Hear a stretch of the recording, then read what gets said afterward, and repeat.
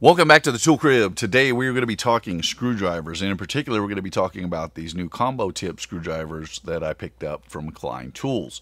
Now, there are several different manufacturers that make these types of screwdriver tips. Uh, Milwaukee calls theirs the ECX.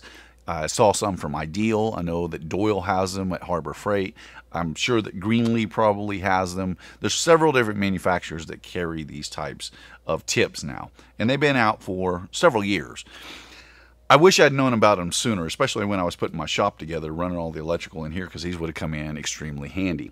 So on the back of modern day uh, electrical fittings, like this outlet or uh, this receptacle in for an extension cord, and uh, this coupler for EMT, you'll notice that on the screws they have what is a multi-bit or multi-driver fastener. So the first option that you can use is the properly sized flat driver, which these are notoriously bad. They work, but they're notoriously bad for slipping out. The next best option is to use a high quality number two Phillips which this will accept as well. But when you get an older Phillips or one that's seen some wear on it, these can have the tendency to cam out, where you can either damage the screwdriver or damage the screw itself. The next best option is to use Robertson. This is a number one. Uh, this will accept Robertson bits as well. And these are a lot better, and you'll find Robertsons in, in electrical uh, applications all the time.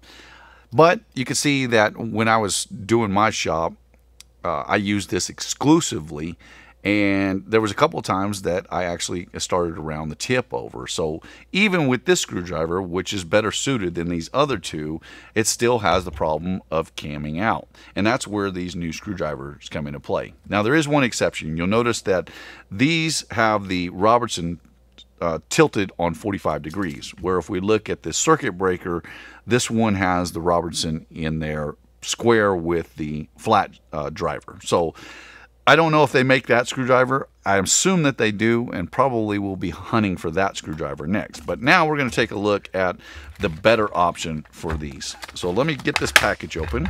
These are the Klein combo drivers. This is a number one and number two combo driver. And what you'll notice about these is that, let's see if we can get this focused in with enough light here, is that they have both the Robertson tip and the flat tip. But unlike what you'll find with the ECX, the ECX comes out where the th this one, the Robertson, protrudes past the flat slightly over what the ECX does, which comes out directly in line.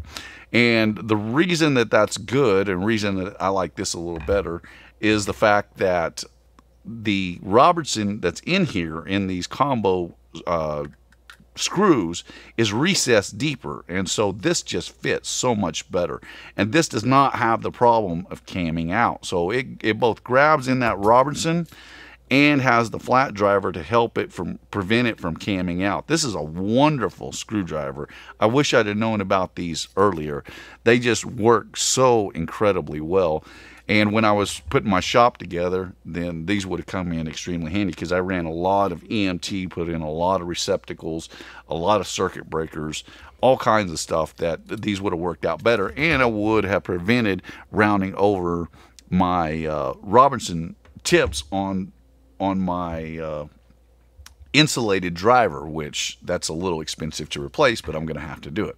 So these are the new uh, combo tips from Klein. And again, I said I'll, I'll put uh, some of the other manufacturers uh, links to their products in the description box below so that you can check them out as well. Uh, this is a fantastic screwdriver and obviously I've been using the wrong screwdriver for a little while now, but no longer. My name is Ben. You've been watching the Texas Tool Crib. I appreciate you watching. I'll see you in the next one.